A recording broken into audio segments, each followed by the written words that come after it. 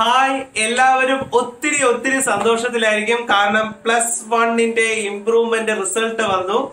എല്ലാവർക്കും ഏകദേശം എന്നെ വിളിക്കുകയും മെസ്സേജ് അയക്കുകയും ചെയ്ത എല്ലാവരുടെയും പ്രതികരണത്തിൽ നിന്ന് എനിക്ക് മനസ്സിലായത് മിക്കവർക്കും ഒരു തൊണ്ണൂറ്റി ഒൻപത് ശതമാനം കുട്ടികൾക്കും വളരെ മികച്ച രീതിയിലുള്ള ഇംപ്രൂവ്മെന്റ് ഉണ്ടായിട്ടുണ്ട്. ഒത്തിരി പേർക്ക് ഫുൾ എ പ്ലസ് ആയിട്ടുണ്ട്. വളരെ വളരെ വളരെ സന്തോഷത്തിലാണ് ഞാൻ നിൽക്കുന്നത്. നിങ്ങളെ പോലെ തന്നെ വളരെ എക്സൈറ്റഡ് ആണ്. കാരണം അൻപതും അൻപത്തഞ്ചും മാർക്കൊക്കെ ഉണ്ടായിരുന്നവർക്ക് എഴുപതും എഴുപത്തഞ്ചും മാർക്കൊക്കെ ആയിട്ട് മാറി പലർക്കും ഫുൾ മാർക്ക് കിട്ടിയിട്ടുണ്ട്. എത്രത്തോളം സന്തോഷത്തിലാണ് നമ്മൾ നിൽക്കുന്നത് എന്ന് പറയാൻ പറ്റുന്നില്ല. അത്ര അധികം ഹാപ്പിനെസ് ഉണ്ട്. നിങ്ങൾക്കും ഒത്തിരി നല്ല മാർക്കുകൾ കിട്ടിയിട്ടുണ്ടാവും. അറിയാൻ ഒത്തിരി ആകാംക്ഷയുണ്ട്. സോ ദയവ് ചെയ്ത് കമന്റ് ബോക്സിനകത്ത് നിങ്ങൾ പഴയ മാർക്ക് എത്രയായിരുന്നു ഇപ്പൊ എത്രയായിട്ട് മാറി ഫുൾ എ പ്ലസ് കിട്ടിയോ നിങ്ങൾ വിചാരിച്ച മാർക്ക് കിട്ടിയോ അതൊക്കെ ഒന്ന് കമന്റ് ചെയ്യുക. അതൊക്കെ വായിക്കുമ്പോഴാണ് അധ്യാപകൻ എന്ന രീതിയിൽ നമ്മുടെയൊക്കെ സന്തോഷം. നിങ്ങളുടെ മാർക്ക് അറിയാൻ ഒത്തിരി ആഗ്രഹമുണ്ട്. ഞാൻ അല്പം ലേറ്റ് ആയി പോയി. കാരണം കുറച്ച് തിരക്കുകളൊക്കെ ഉണ്ടായിരുന്നു. അത് കഴിഞ്ഞിട്ട് ഇപ്പോഴാണ് ഒന്ന് വീഡിയോ ചെയ്യാൻ സമയം കിട്ടിയത്. അതിനാദ്യമേ ക്ഷമ ചോദിക്കുന്നു. ഒത്തിരി ഫോക്കസ് ഏരിയ നമ്മൾ ഓൾറെഡി നമ്മുടെ വീഡിയോസ് നമ്മൾ അപ്ലോഡ് ചെയ്തുകൊണ്ടിരിക്കുകയാണ്. അപ്പൊ അതും കണ്ടിന്യൂ ചെയ്യും. ഇനി എനിക്ക് നിങ്ങളോട് പറയാനുള്ളത് കുറച്ച് വളരെ പ്രധാനപ്പെട്ട കാര്യങ്ങളാണ്. നിങ്ങൾ പ്ലസ് ടുവിന്റെ എക്സാമിനേഷൻ മോഡൽ എക്സാമിനേഷൻ എഴുതാൻ ആകെ ഒരാഴ്ച മാത്രമാണ് ഇനി മുന്നോട്ടുള്ളത്. ആ ഒരാഴ്ച കാലം കഴിഞ്ഞാൽ സ്വാഭാവികമായിട്ടും നിങ്ങളുടെ മോഡൽ എക്സാമിനേഷൻ നിങ്ങളുടെ മുന്നിൽ ഓടിച്ചാടി എത്തുകയാണ്. ഒരു മൂന്നോ നാലഞ്ച് ദിവസം കൊണ്ട് കംപ്ലീറ്റ് ചെയ്യുന്ന മോഡൽ എക്സാമിനേഷൻ കഴിഞ്ഞ് പിന്നെ നമ്മുടെ ഫൈനൽ എക്സാമിനേഷൻ വേണ്ടിയുള്ള കാത്തിരിപ്പാണ്. അതും ഏകദേശം ഒരു പത്ത് പന്ത്രണ്ട് ദിവസം മാത്രം. അതായത് നിങ്ങൾക്ക് മുന്നിൽ ഇനി പഠിക്കുവാനായി മിച്ചമുള്ളത് ഏകദേശം എങ്ങനെയൊക്കെ കണക്കൂട്ടിയെടുത്താലും ഒരു പതിനേഴ് പതിനെട്ട് ദിവസം. ആ ഒരു പതിനേഴ് പതിനെട്ട് ദിവസമാണ് നിങ്ങളുടെ മുന്നോട്ടുള്ള ഭാവി നിങ്ങൾക്ക് നിർണയിച്ചു തരുന്നത്. ആ ദിവസത്തേക്ക് ഇനി എങ്ങനെ നിങ്ങൾ കരുതി വെക്കണം എന്നുള്ളതാണ് ഞാൻ ഇപ്പോൾ പറയാൻ പോകുന്ന കാര്യം.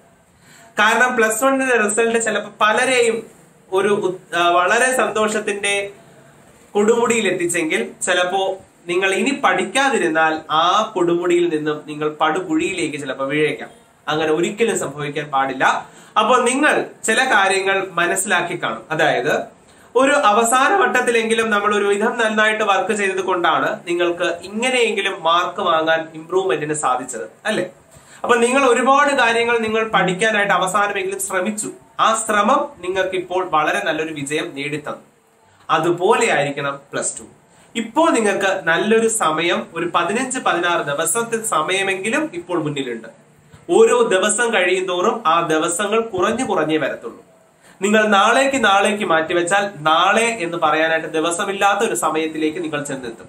അന്ന് ഒത്തിരി ടെൻഷൻ അടിച്ചിട്ടോ കരഞ്ഞിട്ടോ നിലവിളിച്ചിട്ടോ ഒന്നും നോക്കാതെ കിടന്നുറങ്ങിയിട്ടോ ഒരു കാര്യവുമില്ല അതുകൊണ്ട് ഇന്ന് മുതലാണ് നിങ്ങൾ പരിശ്രമിക്കുന്നതെങ്കിൽ ഒരു ദിവസം ഒരു ചാപ്റ്റർ വെച്ച് പഠിച്ചാൽ മതിയാകും.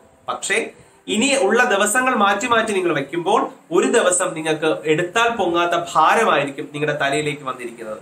ഞാൻ ഒരു വിഷയത്തെ ആസ്പദമാക്കിയാണ് പറഞ്ഞത്. നിങ്ങൾക്ക് ആറ് വിഷയത്തോളം പഠിക്കാനുണ്ട്. വി എച്ച് എസ് സി കുട്ടികളാണെങ്കിൽ കുറച്ചുകൂടി അധികം പഠിക്കാനുമുണ്ട്.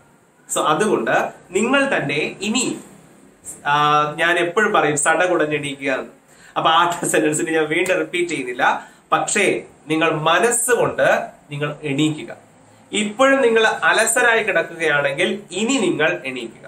കാരണം ദിസ് ഇസ് ദ ടൈം ഇതാണ് പഠിക്കാനുള്ള അവസാനല്ല നിങ്ങൾ അവസാനത്തെ ദിവസമല്ല നിങ്ങൾ അത് ചെയ്യേണ്ടത്. കാരണം നിങ്ങൾ എഴുതാൻ പോകുന്നത് ഒന്നാം ക്ലാസ്സിലെയോ രണ്ടാം ക്ലാസ്സിലെയോ പരീക്ഷയല്ല പന്ത്രണ്ടാം ക്ലാസ്സിലെ പരീക്ഷയാണ്.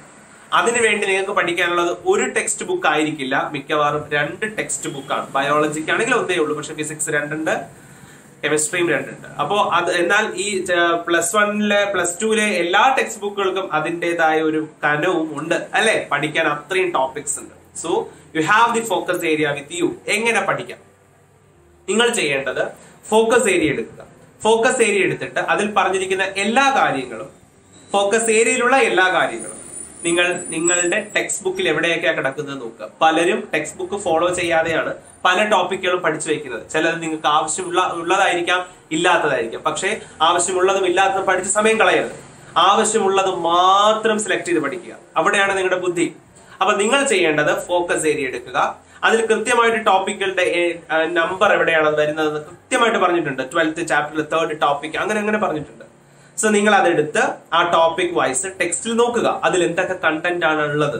ആ കണ്ടന്റിനനുസരിച്ച് പഠിച്ചു പോവുക. അതാണ് നിങ്ങൾക്ക് പഠിക്കേണ്ടത്. അങ്ങനെ ഫോക്കസ് ഏരിയയുടെ ക്ലാസ്സസ് നിങ്ങൾക്ക് അവൈലബിൾ ആകണമെന്നുണ്ടെങ്കിലാണ് ഞാൻ എപ്പോഴും നിങ്ങളോട് പറയുന്നത്. ചെറിയൊരു ഫീസ് അടച്ച് നിങ്ങൾക്ക് ആ ഫോക്കസ് ഏരിയ മാത്രമായിട്ട് നിങ്ങൾക്ക് നമ്മൾ വീഡിയോ ചെയ്ത് തരുന്നുണ്ട്. അപ്പൊ നിങ്ങൾക്ക് വളരെ എളുപ്പമാകും. ആ ടോപ്പിക്ക് മാത്രം പഠിച്ചു വെച്ചിട്ട് പിന്നീട് ആ ചാപ്റ്ററിന്റെ മുഴുവൻ നോട്ട്സും നമ്മൾ തരുന്നുണ്ട്. ആ മുഴുവൻ നോട്ട്സ് നിങ്ങൾക്ക് വായിച്ചു നോക്കാം. ഏതെങ്കിലും ടോപ്പിക്കിനകത്ത് ഡൗട്ട് തോന്നുന്നുണ്ടെങ്കിൽ ഞാൻ ജീവനോട് ഇരിക്കുന്നിടത്തോളം കാലം നിങ്ങൾക്ക് വാട്സാപ്പ് ചെയ്ത് ചോദിക്കാവുന്നുള്ളൂ എന്റെ സ്റ്റുഡന്റ് ആണെങ്കിൽ ഉറപ്പായിട്ടും ഞാൻ അത് ക്ലിയർ ചെയ്ത് തരും. മറ്റുള്ളവർക്ക് ക്ലിയർ ചെയ്ത് തരുന്നില്ല എന്നല്ല. എനിക്ക് സമയം പോലെ ഞാൻ എല്ലാവർക്കും അത് ക്ലിയർ ചെയ്ത് കൊടുക്കാറുണ്ട്. സോ നിങ്ങൾക്ക് അതിനുശേഷം ഫോക്കസ് ഏരിയ നമ്മുടെ ക്ലാസ്സിൽ ജോയിൻ ചെയ്യുന്ന കുട്ടികൾക്ക് വേണ്ടി ലൈവ് സെക്ഷൻസ് വെക്കും ഉറപ്പായിട്ടും വെക്കും പ്രീവിയസ് ക്വസ്റ്റ്യൻസ് മാക്സിമം ലൈവ് ക്ലാസ്സിൽ തന്നെ നിങ്ങൾക്ക് ഞാൻ വർക്കൗട്ട് ചെയ്ത് തരാം. യൂട്യൂബിൽ പഠിക്കുന്ന കുട്ടികൾക്ക് വേണ്ടിയിട്ട് ഫോക്കസ് ഏരിയയുടെ പ്രധാനപ്പെട്ട കാര്യങ്ങളെല്ലാം തന്നെ യൂട്യൂബിൽ ഞാൻ അപ്ലോഡ് ചെയ്യുന്നുമുണ്ട്.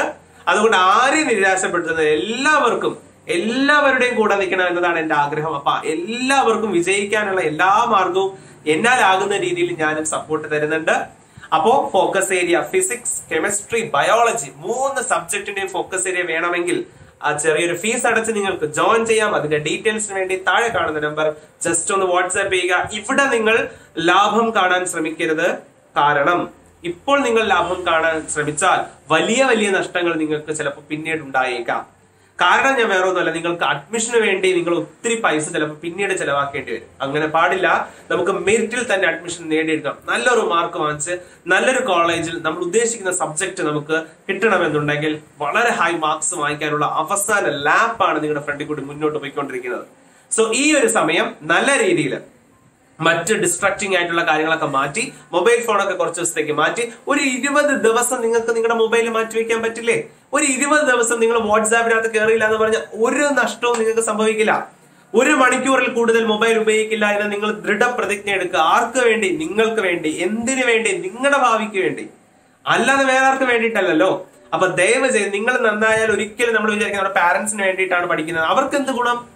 അവർക്ക് എന്ത് ഗുണമാണ് നിങ്ങൾ ചെയ്തു കൊടുക്കാനിരിക്കുന്നത്? അല്ല നിങ്ങളുടെ ഭാവിയാണ്. നിങ്ങളെ സുരക്ഷിതരായി കാണാനാണ് അവരെല്ലാവരും ആഗ്രഹിക്കുന്നത്. അപ്പൊ ദയവ് ചെയ്ത് ഈ അവസാന നിമിഷം ഞാനും സമയം കളയുന്നില്ല. ഇനി നിങ്ങൾ ചെയ്യേണ്ടത് സിസ്റ്റമാറ്റിക് ആയിട്ട് പഠിച്ചു തുടങ്ങുക. അപ്പൊ സിസ്റ്റമാറ്റിക് ആയിട്ട് പഠിക്കാൻ വേണ്ടിയിട്ട് നിങ്ങൾ നിങ്ങളുടെ ഫോക്കസ് ഏരിയ ബേസ് ചെയ്ത് നോട്ട്സ് കൂടി വെച്ച് കൃത്യമായിട്ട് ടെക്സ്റ്റ് ബുക്ക് ബേസ് ചെയ്ത് പഠിച്ചു പോകുക ഓക്കെ അപ്പൊ നന്നായിട്ട് നിങ്ങളുടെ പ്രിപ്പറേഷൻ മുന്നോട്ട് പോട്ടെ. നിങ്ങളോടൊപ്പം എല്ലാ സഹായത്തിനും ഞാനും കൂടെയുണ്ട്.